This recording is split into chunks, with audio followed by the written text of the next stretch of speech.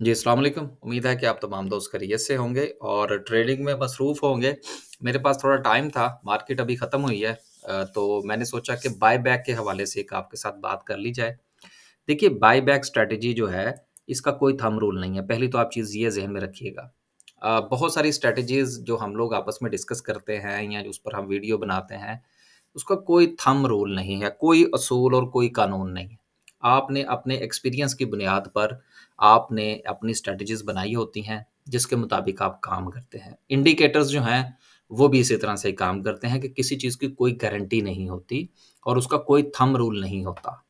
ठीक है? अब हम चलते हैं आगे और बाय बैक स्ट्रैटेजी के हवाले से बात करते हैं। कोशिश करूँगा कि ज़्यादा से ज़्यादा जो है वो सिंपल रखने की कोशिश करूँ ताकि बिल्कुल जो है वो आसानी के साथ ये चीज़ समझ में आ सके।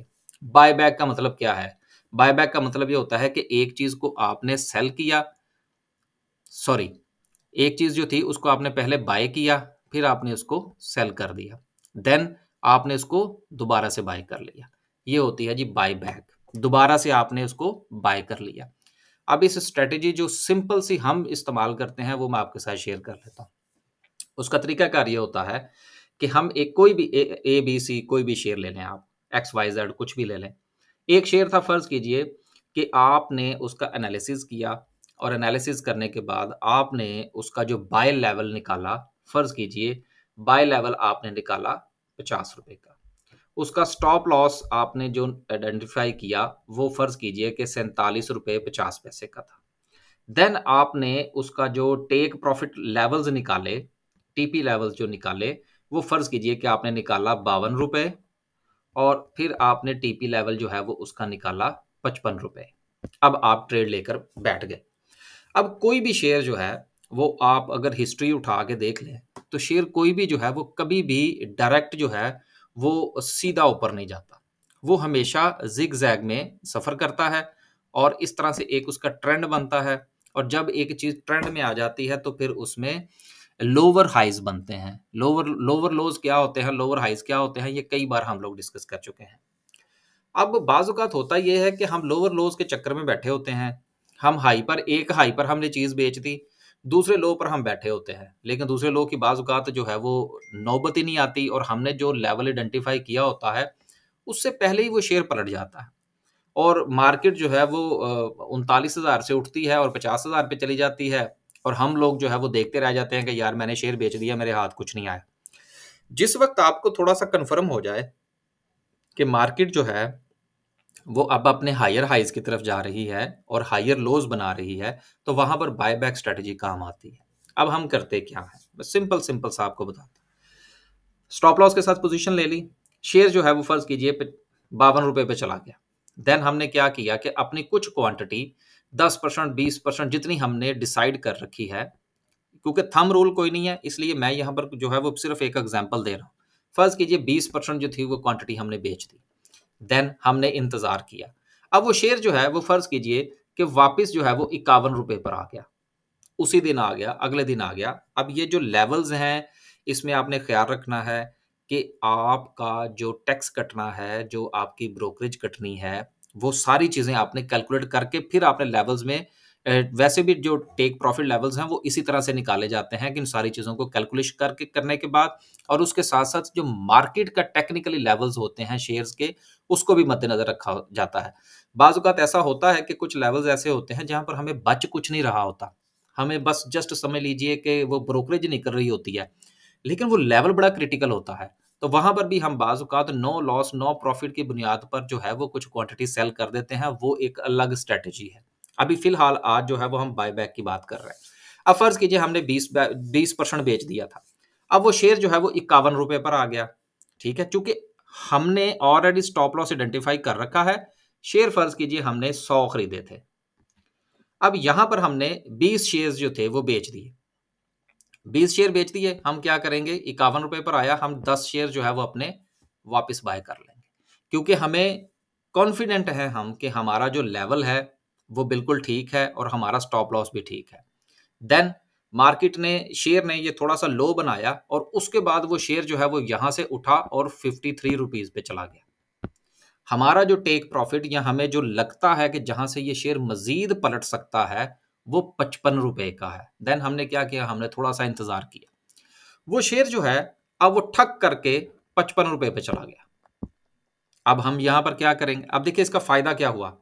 अगर आपने 20 फ़ीसद यहाँ पर बेच दिया होता और बाद में बायबैक ना किया होता तो इस वक्त आपके पास शेयर जो बाकी बच रहे थे, वो थे 80 लेकिन बायबैक स्ट्रेटजी से आपके पास जो शेयर इस वक्त मौजूद है, वो कितने हैं? 90 अब जब जैसे ही वो पचपन रुपए पर गया, आपने यहाँ पर तीस शेयर जो है वो बेच दिए। एंड देन आपने इंतज़ार किया कि शेयर जो है वो अब आगे क्या करता है। अब बाकी आपके पास बचे सत्तर शेयर यहाँ पर आपने प्रॉफिट निकाल लिया। अब देखिए, अगर आप पचास रुपए से लेकर पचपन रुपए तक का इंतज़ार करते तो आपको कितने पैसे मिलने कितने रुपए आपने कमाने थे? पाँच रुपए। पचास से पचपन रुपए। लेकिन चूँकि बायबैक स्ट्रेटेजी का भी आपने इंतखाब किया तो अब जो आपके पास जो रेशो निकलेगी वो रफली कुछ साढ़े पाँच रुपए की निकलेगी। तो ये फ़ायदा है आपका बायबैक स्ट्रेटेजी में। अब यहाँ पर आपने तीस शेयर आपने बेच दिए। देन क्या हुआ कि मार्केट के अंदर जो है टेक्निकली डीप आई। मार्केट ने अपने आप को करेक्ट किया या उस शेयर ने आपको करेक्ट किया जिसको आपने बाय किया हुआ था पचास रुपए के ऊपर। और उसका जो आपने पहला टीपी का लेवल रखा था वो था बावन रुपए, दूसरा आपने जो रखा था वो था पचपन रुपए, और यहाँ पर आपने तीस शेयर बेच दिए, और आपके पास सत्तर शेयर जो है वो अभी मौजूद थे। जबकि इससे पहले आप इक्यावन रुपए पर भी कुछ क्वांटिटी जो है वो बावन रुपए पर सेल करके इक्यावन रुपए पर खरीद चुके हैं। अब देन क्या हुआ कि मार्केट के अंदर डिप आई, और शेयर जो है वो वापस बावन रुपए पर चला गया। अब ये इसने अपना हायर लो बनाना है यहाँ पर। हमने क्या किया? हमने जो यहाँ पर तीस शेयर बेचे थे, वो हमने सारे के सारे यहाँ पर बाय बैक कर लिए। अब क्यों किए?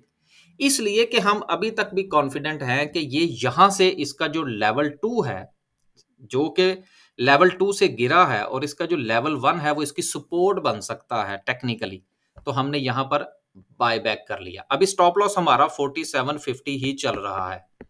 वो हम इसको लेकर चल रहे हैं। ट्रेलिंग स्टॉप लॉस क्या होता है वो हम बाद में बात करेंगे। देन क्या हुआ कि शेयर ने अपना यहाँ पर लो बनाया, यहाँ पर सपोर्ट बनाई तो फिर हमें उम्मीद है कि जब ये यहाँ से वापस जाएगा तो पचपन रुपए को तोड़ देगा। और नेक्स्ट हमने जो इसका टीपी लेवल निकाला था, फ़र्ज़ कीजिए वो हमने निकाला था अट्ठावन रुपए का। अब जब यहाँ से शेयर वापस जो है वो अट्ठावन रुपए पर गया तो हमारे पास जो शेयर्स की क्वांटिटी पहले सत्तर रुपए सत्तर शेयर रह गई थी वो बावन रुपए पर बायबैक करने के बाद हमारी क्वांटिटी जो है वो वापस हंड्रेड हो चुकी है। और जब अट्ठावन रुपए पर गया तो हमने वहाँ पर फिर तीस परसेंट शेयर जो है या तीस शेयर जो है वो फिर बेच दिए। तो इस तरह से बाय सेल बाय सेल जिस वक्त आप टेक्निकली चल रहे हो और मार्केट जो है वो हायर लोज बना रही हो सो हायर लो को 100 परसेंट कैप्चर करना बड़ा मुश्किल होता है। अगर आप फ़र्ज़ कीजिए कि ये समझते हैं कि नहीं यार मैंने जो आइडेंटिफाई किए हुए हैं लेवल वो ये है कि स्टॉप लॉस जो है वो मेरा सैतालीस रुपए पचास पैसे का है। बाय जो है वो मेरी पचास रुपए की है। टीपी लेवल जो है, फ़र्ज़ कीजिए, वो मेरा बावन रुपए का है। दूसरा टीपी लेवल जो है वो मेरा पचपन रुपए का है। अब दो टीपी लेवल निकाले, एक आपने स्टॉप लॉस निकाल लिया, अब आप आराम से बैठ गए। पचास परसेंट आपने यहाँ पे बेचा, पचास परसेंट आपने यहाँ पे बेचा, और उसके बाद फिर आप उसमें से एग्जिट कर गए। बाद में आपको पता ही कुछ नहीं कि आपके साथ क्या हुआ है। तो अगर स्टॉक मार्केट में काम करना है तो मैं अक्सर अपनी वीडियोस में ये कहा करता हूँ कि कमाएगा वही जो स्टॉक मार्केट में रहेगा। और स्टॉक मार्केट में पेशेंस बड़े ज़रूरी होते हैं। टेक्निकल्स के साथ जिस वक्त आप पेशेंस लेकर चलते हैं, अपने लेवल्स को लेकर चलते हैं, अब देखिए शेयर चला पचास रुपए से। उसने बावन रुपए का हाई बनाया देन उसने इक्यावन रुपए का एक लो बनाया ये पचास रुपए का था जहाँ से चला, ये लेवल बन गया, एक उसका ये बना। ये उसने बावन रुपए का हाई बनाया। उसके बाद उसने सपोर्ट बनाई, यानी कि हायर लो बनाया इक्यावन रुपए का। देन उसने इसको तोड़ा और पचपन रुपए का लेवल बनाया। ये उसका नया हाई बन गया। अब पचपन से देर इज़ अ चांसेस कि वो वापस पे फिर जो है वो कोई फिफ्टी थ्री साढ़े तिरपन तिरपन, बावन रुपए पचास पैसे चौवन रुपए इसके करीब आएगा, यहाँ पर फिर वो एक लो बनाएगा। देन वो फिर इसको ब्रेक करेगा। अगर आप इस इस तमाम की तमाम जो शेयर की मूवमेंट है, उसको आप इंजॉय करना चाहते हैं तो फिर आपको बाय बैक स्ट्रेटेजी जो है वो बहुत सेफ़ रहती है, एक चीज़। दूसरी चीज़ ये है, क्योंकि देखिए स्टॉक मार्केट नाम है रिस्क का। अगर खुदा ना खास्ता, फ़र्ज़ कीजिए कि आपने अभी जो है, वो कोई एक या दो ट्रेड्स ही ली थी और यहाँ से आपने फ़र्ज़ कीजिए कि पर शेयर जो है वो आपने को दो रुपए के करीब जो था, वो सिर्फ़ प्रॉफिट कमाया था। और उसके बाद मार्केट गिर गई, कोई बड़ी न्यूज़ आ गई, खुदा ना खास्ता कुछ हो गया और एक ही दिन मार्केट जो है वो ब्लड बाथ में नहा गई और हमें पता नहीं लगा कि हमारे साथ क्या हुआ। स्टॉप लॉस हिट हो गया। फ़र्ज़ कीजिए। तो ऐसी बहुत बड़ी मंदी की सूरत में आप नो लॉस नो प्रॉफिट पर खड़े होंगे। और कैश आपके हाथ में होगा। एक चीज़। दूसरी चीज़ ये है कि फ़र्ज़ कीजिए कि आपने बायबैक स्ट्रेटजी के तहत कुछ चीज़ें सेल की, कुछ बायबैक की। तो जब आपने सेल किए, फ़र्ज़ कीजिए वो तीस शेयर थे और बायबैक आपने किए बीस शेयर तो दस शेयर्स का आपके पास कैश जो है वो अवेलेबल होगा। ये अभी मैंने बहुत ज़्यादा इसको सादा रखने की कोशिश की है। तो इसको मैं अभी मजीद जो है वो डिस्कस नहीं करता, इसको यहीं पर ही ख़त्म करते हैं ताकि आपको कुछ थोड़ी सी बात समझ में आए। और फिर जो है वो मुस्तबिल में जब भी मुझे टाइम मिला, मैं इसको मजीद थोड़ा सा गहराई में डिस्कस करने की कोशिश करूँगा ट्रेलिंग स्टॉप लॉस के साथ। अभी जो यहाँ पर हमने जिस चीज़ को आइडेंटिफाई किया है, वो मैं इसको आखिर में रिपीट कर देता हूँ एक मरतबा फिर, कि बाय बैक का मतलब ये होता है कि आपने एक लेवल पर शेयर को खरीदा, एक रेजिस्टेंस आइडेंटिफाई की दूसरी रेजिस्टेंस आइडेंटिफाई की। और आपको पता है कि जब शेयर जो है वो पहली रेजिस्टेंस पे जाता है तो उसको टच करने के बाद थोड़ा सा नीचे आता है। देन वो अपनी रेजिस्टेंस को ब्रेक करके दूसरी की तरफ़ जाता है, फिर थोड़ा सा नीचे आता है देन वो उसको ब्रेक करता है। तो ये जो रेजिस्टेंस लेवल है, इनको सौ फ़ीसदी अगर हम ये कहें जी कि मैं पकड़ लेता हूँ तो मैं तो बहरहाल इसके ऊपर यकीन नहीं रखता।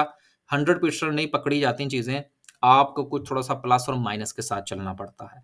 तो लिहाजा अगर आप बायबैक स्ट्रेटेजी के साथ चलेंगे तो ये मार्केट का जो एक ट्रेंड है, या उस शेयर का जो ट्रेंड है, उसको आप पकड़ पाएँगे और उसमें से अपने हिस्से का प्रॉफिट निकाल पाएँगे।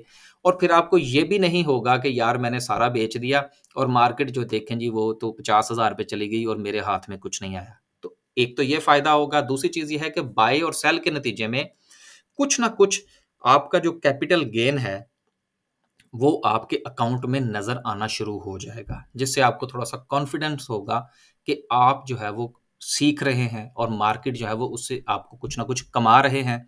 और आखिरी बात यह है कि जितने शेयर्स आप लेकर चले थे, फ़र्ज़ कीजिए सौ सौ शेयर्स के साथ आप चले थे तो बायबैक स्ट्रेटजी के साथ जिस वक्त आप दूसरे या तीसरे लेवल पर पहुँचेंगे तो फिर भी आपके पास 80 से 90 शेयर जो हैं, वो अभी भी आपके पास क्वांटिटी मौजूद होगी। यानी कि 80 टू 90 परसेंट अभी भी आपके पोर्टफोलियो के अंदर वो शेयर मौजूद होगा।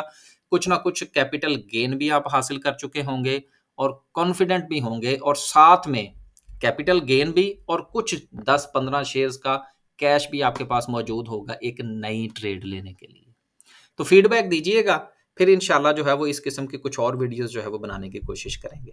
ये बिल्कुल एक सादा सी और अपने एक्सपीरियंस की बुनियाद पर जो है ये स्ट्रेटजी थी। बाकी जो है वो हमारा जो ग्रुप है, वो माशाल्लाह से चल रहा है। ये हमारा कॉन्टेक्ट नंबर है और हमारी आपको पता है कि जो रजिस्ट्रेशन होती है, वो हर महीने की एक तारीख से लेकर पाँच तारीख तक की होती है। अगर आप हमारे साथ काम करना चाहते हैं तो हमारी दो हज़ार रुपया फ़ीस है महीने की। सिंपल सी।